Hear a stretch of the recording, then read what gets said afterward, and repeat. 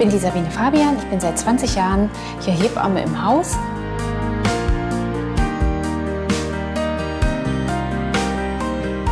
Also wir arbeiten vor allem im Kreißsaal, sind dadurch natürlich für die Geburten zuständig.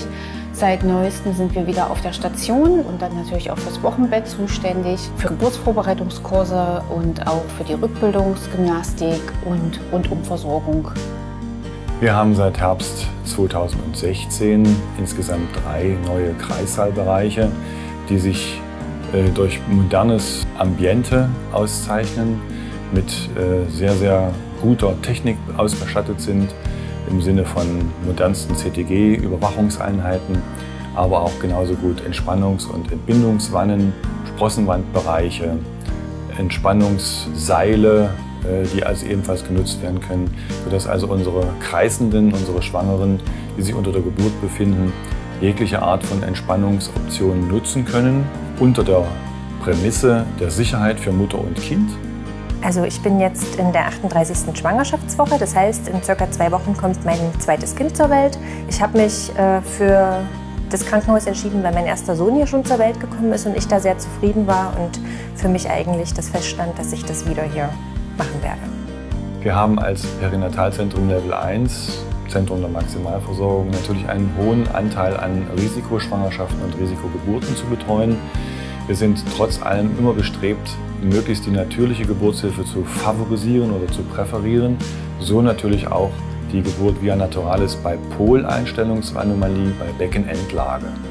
Im Falle einer Komplikation oder wenn ein Notfall eintreten sollte, haben wir als Besonderheit unseren roten Notfallknopf, der gewährleistet, dass alle aus dem Haus, das heißt die Anästhesie, die Kinderkrankenpflege und natürlich auch die OP-Schwestern innerhalb von wenigen Minuten hier oben bei uns im Saal sind. Dadurch, dass wir in unserem Zentrum alle Kliniken haben, entsteht eine schnelle Kommunikation und wir holen hierher die Spezialisten, um eine suffiziente Aufklärung für die werdenden Eltern zu leisten und weiterhin um eine nahtlose Versorgung des Kindes zu gewährleisten.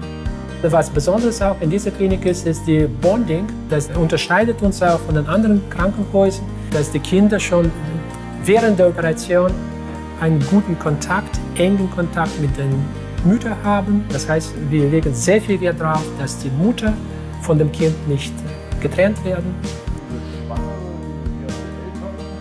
Also wir bieten jeden zweiten und vierten Donnerstag im Monat einen sogenannten Infoabend an, wo wir unser Konzept der familienorientierten individuellen Geburtshilfe präsentieren können. Im Anschluss an unseren kleinen Vortrag äh, gibt es die Gelegenheit, die neuen Kreissaalbereiche zu besichtigen, beziehungsweise auch ein oder zwei Zimmer auf der Wochen- und Neugeborenenstation vor Ort in Augenschein zu nehmen. Täglich begrüßen wir die Kinder hier im Kreissaal als neue Erdenbürger, aber auch neue Generationen im betreuenden Personal sind bei uns zu verzeichnen. Wir haben einen Wachwechsel in der Pflegedienstleitung. Wir haben jetzt unsere Frau Nicole Rostalski als neue leitende Hebamme. Unser Team legt besonders großen Wert auf eine familienorientierte Geburtshilfe. Das heißt, der Partner ist äh, bereits im Vorgespräch anwesend, begleitet seine Frau auch unter der Geburt und ähm, hat dann auch die Möglichkeit, im Familienzimmer auf unserer Wochenstation gemeinsam die ersten Tage und Stunden äh, mit seiner Frau und mit seinem Neugeborenen zu verbringen. Die schwangeren und werdenden Eltern nehmen ja im Normalfall schon relativ frühzeitig Kontakt zu unserer Klinik auf, nämlich im Rahmen der Pränataldiagnostik.